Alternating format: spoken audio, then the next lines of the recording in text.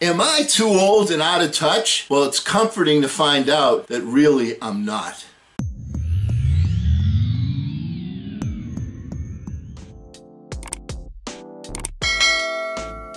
Hello again, everyone. I'm Eli's dad with Project Eli, where we educate, lead, and inspire. And you know, I've been having my doubts lately about whether or not I'm sane, whether I'm out of touch, whether I'm I'm grasping what's going on. Things that led me to believe that are, you know, some of the people in my circle, in my orbit, agree with the things that I'm saying, and I focus on two things, you know, in this difficult time. I focus on, as somebody that teaches leaders how to lead, I focus on the style and the substance, and I focus on the style that they use and are they doing it correctly. And I also focus, of course, on the content. I mean, these are times you definitely have to focus on the content. So, and I have a couple of buddies, people that I know. One uh, is a gentleman that I've known for a long, long time that I greatly admire. Uh, his name is Keith, and Keith is somebody that I, very, very intelligent, and he couldn't disagree with me more. So I'm thinking to myself, you know what? He's an intelligent guy. Let me give it a revisit. And then there's another gentleman I've worked with for 10 years named Francisco that is a very, very brilliant guy. Okay, he and I are, are working business together, and he's very sharp, very smart. And once again, here's somebody that, for all intents and purposes, on a political basis, on a, I don't know, the way we see the world is completely different, but we have enough things to agree with that we get along very well. And so I'm, you have doubts. You have doubts. But those doubts came to an end this past weekend, and I'm going to tell you why. There's a gentleman named Piers Morgan who was on Donald Trump's TV show, Celebrity Apprentice. He won. He's good friends with Trump. Whenever Trump goes to England, Piers Morgan is the one that interviews him. Piers Morgan is a is a journalist, has his own, you know, TV show over there, and he's someone that's always been in Trump's corner until this weekend. And he saw and is talking about all of the same things that I've been talking about as far as leadership are concerned. So I want to go over with you some of these things. And keep in mind, I'm focusing mostly here on the way you lead, the way you direct people, the way you get results. All right? And during this interview, Piers Morgan was talking about the two populist leaders, in the, the one in the UK, uh, the gentleman that just got out of intensive care that got the coronavirus, and also President Trump, of course. And he points out that it was their populism brought them into office, but now it's time to take a nonpartisan posture because now they're playing war crisis leadership. The daily briefings of president president is critically is a president is a critically important person in the world. It's when tens of thousands of people are dying. Now, what the leader must do, and this is this is Piers talking, I'm quoting him here. What the leader must do is be calm, show authority, honest, entirely accurate and factual, and show empathy.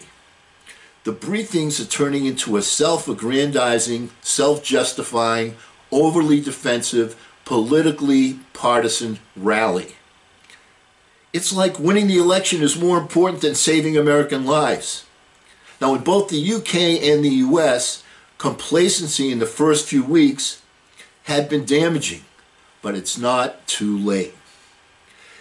It's time to attack the virus and stop pumping themselves up and telling us what a great job they're doing and focusing on what matters human life. This isn't just another situation. Now, the leaders in New Zealand and Germany are being very candid with their people, and they took action right away.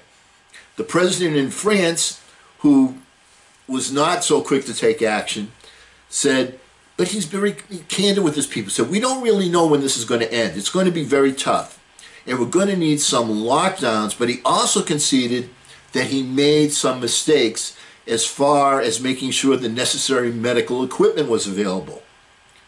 There's something about candor from a leader in a war that goes down well with the public. And these leaders that we just spoke of, New Zealand, Germany, and France, have never been more popular. On the other hand, Trump's numbers are falling. The people don't trust him.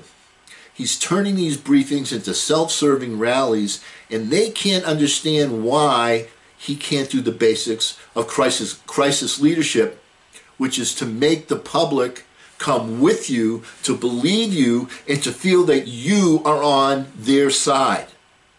What needs to happen is a global effort in America from all of the states, all of the governors, and the federal government to work as one and show a unified front. He's put the country before himself. He has to put Americans before electioneering.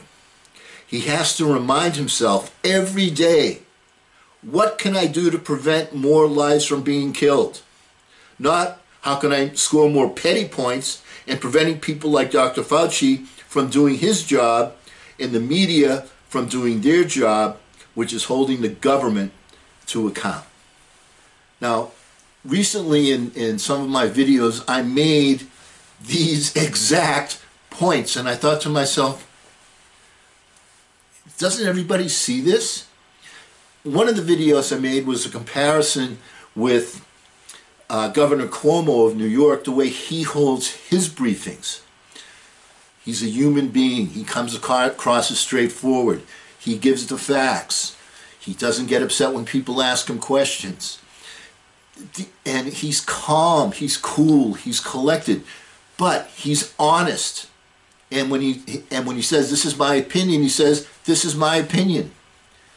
This is all that we want in our leadership, Mr. Trump. That's all we want. We want an honest assessment.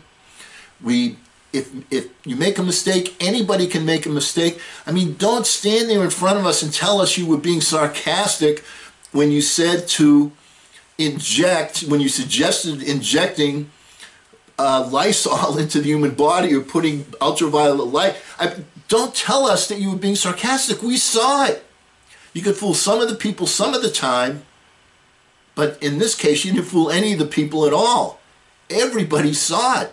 Even your own news network saw it. But there's still time. The office of the presidency is the most important office in the land, and we respect the office and we want to respect the man. And we want the man to be looking out for us. Always ask yourself in business, why am I in business? And the President of the United States is in business to make sure that the people in this country thrive. Ask yourself that question. The Washington Post this past weekend had an article that said more time was spent on self-pumping, saying all the good things you were doing versus the time you spent on the actual virus.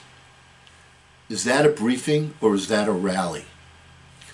We, the American people, expect more, we demand more, and we want you to give us more.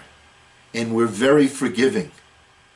So let's get a brand new start, start over, and let's get this thing under control. And because we will never end a meeting on a philosophical note, let's all get out there and charge. I'm Eli's dad.